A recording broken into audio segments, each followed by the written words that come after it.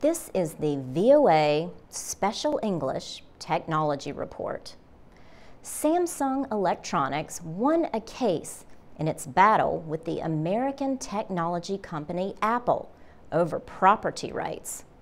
A court in Japan ruled in a case involving Samsung's Galaxy series of smartphones and tablet computers.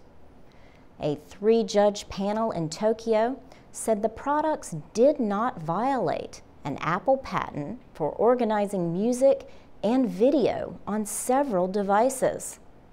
The court also ordered Apple to pay all legal costs related to the case.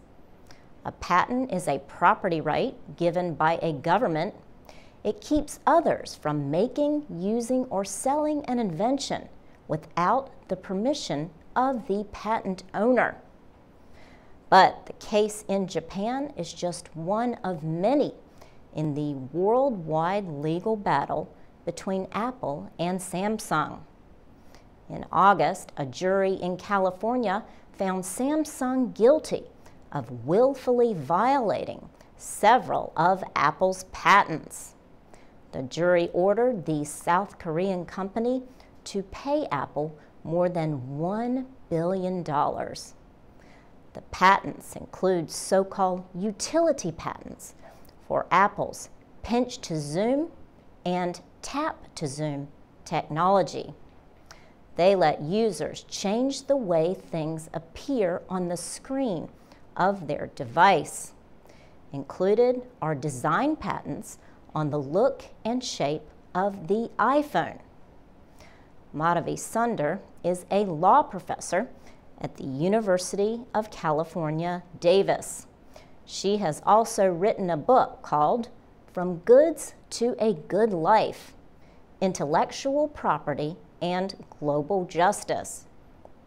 She says issues involving design patents are complex. Madhavi Sunder says patents are meant to increase competition and support design and development. She sees a problem with Apple trying to say its designs are something only one company can have.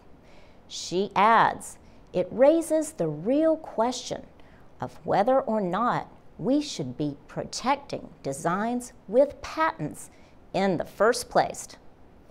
Madhavi Sunder says Apple built its computer company using the same methods that it is now opposing. Apple appears to be saying that no one else can use its methods.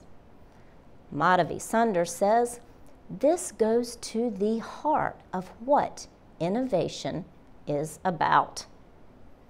Samsung said the California court's decision, in its words, should not be viewed as a win for Apple but as a loss for American consumers. And the company told its employees that it would continue to fight until its arguments are accepted. But the dispute is far from over. On the day of the California ruling, a court in South Korea ruled that Apple and Samsung had violated each other's patents. For VOA Learning English, I'm Laurel Bowman.